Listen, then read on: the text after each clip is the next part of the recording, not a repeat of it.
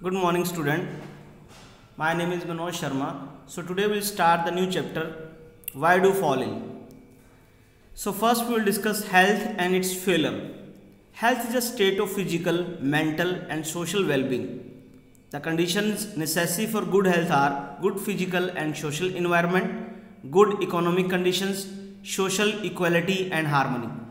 Good physical and social environment includes clean surrounding, good sanitation, proper garbage disposal and clean drinking water. Good economic conditions includes job opportunities for all for earning to have nutritious food and to lead a healthy life. Social equality and harmony are necessary for a healthy and peaceful life. If all people are equal and there is harmony in their life, then all will be healthy. Difference between healthy and disease free.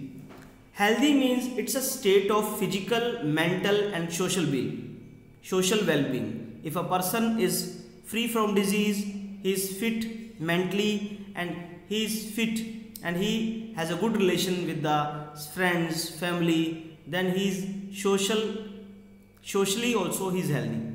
And disease free means only the state of absence from diseases. Healthy refers to individual physical and social environment. The relation of individual with the environment. Disease free means it refers only to the individual. Healthy means the individual has good health. And disease free means the individual may have good health or may have poor health you can say. So this is the difference between healthy and disease free what does disease look like?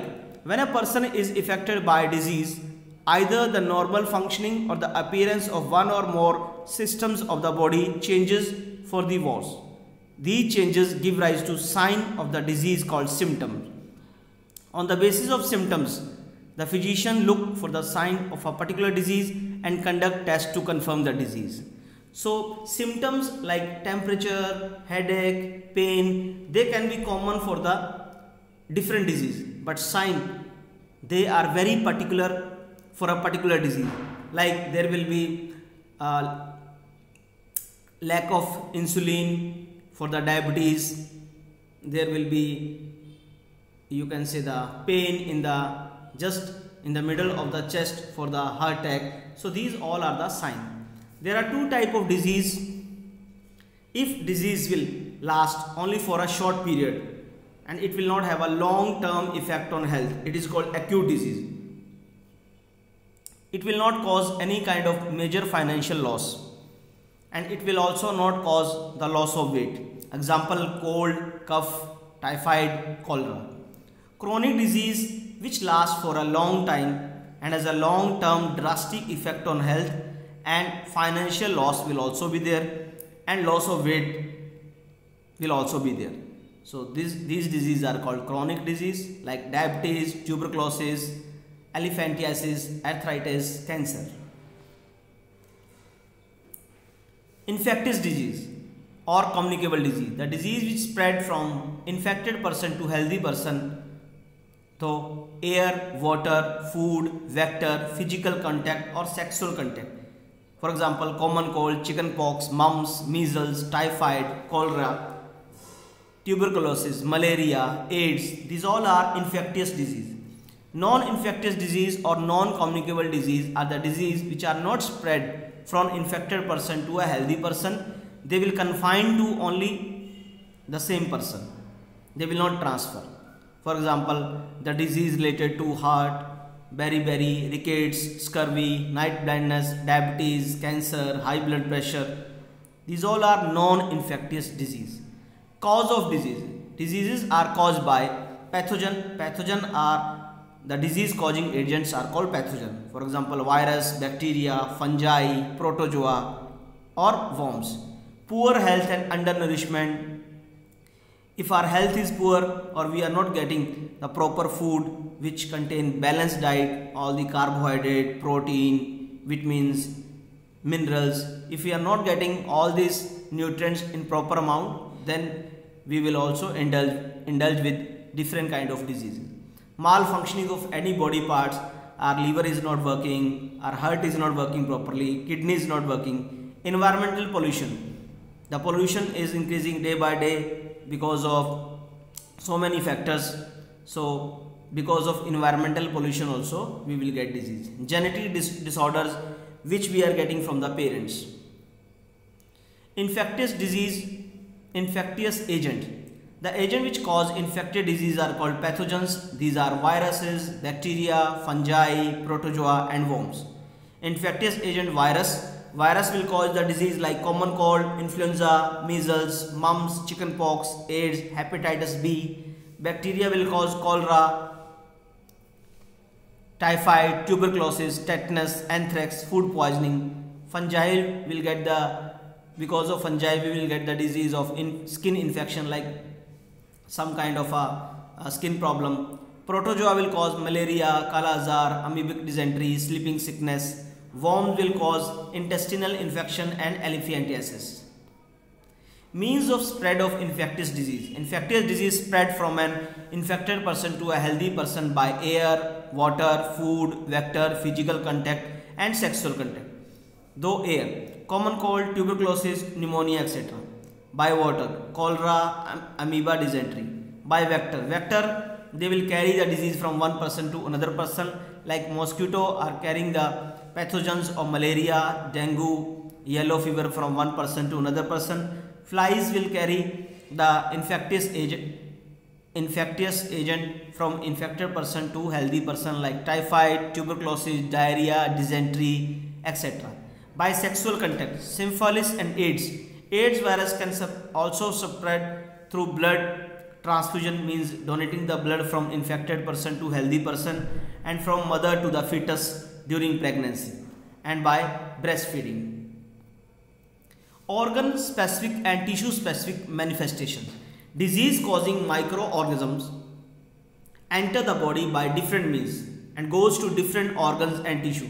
Microbes which enter through the nose are likely to go to the lungs and they will cause the infection of lungs. So bacteria which cause tuberculosis of lungs. Microbes which enter through my mouth they are likely to stay in the gut. Gut means a long pipe from mouth to anus. So bacteria which cause typhoid or the disease of liver means jaundice. Virus which cause AIDS enter the body through sexual organ during sexual contact and spread through the lymph. Lymph is also like blood to all the parts of body and damage the immune system. Immune system is the protective system of our body which protect us from the external microorganism or the chemical released by them. So these all things can cause disease to us and our bodies has a one protective system called immune system which protect us from these different kind of disease. Viruses which causes Japanese encephalitis, brain fever, enter the body through mosquito bite and goes and infect the brain. Principle of treatment. The treatment of infectious disease consists of two steps they are they can reduce the effect of disease and they can kill the microbe which cause the disease to reduce the effects of disease. This can be done by taking medicines to bring down the effect of disease like fever pain or loose motion etc or by taking bed rest to conserve our energy. Second to kill the microbes to kill the microbe we have to take suitable antibiotics and drugs which kill the microbes and the disease is cured. What are antibiotics? The medicine or drug which are prepared from microorganism and used against them. So these medicine called antibiotics which are very effective against microbes.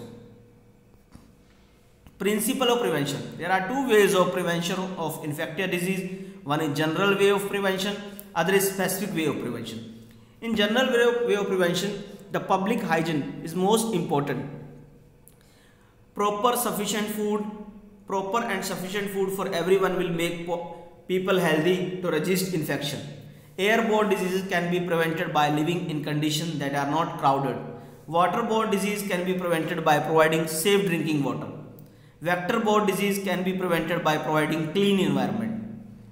So these are the general way of prevention. Specific way of prevention means we have to use a specific way to prevent infected disease.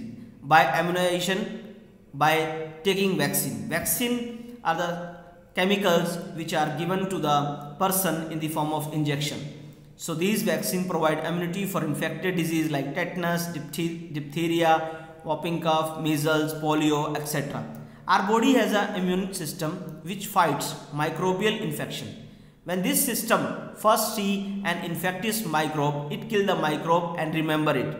So if the microbe will enter the body sec second time, it respond more vigorously and the person will not get the infection or person will not get the disease. So vaccine will just strengthen our immune system and protect the body from infectious disease.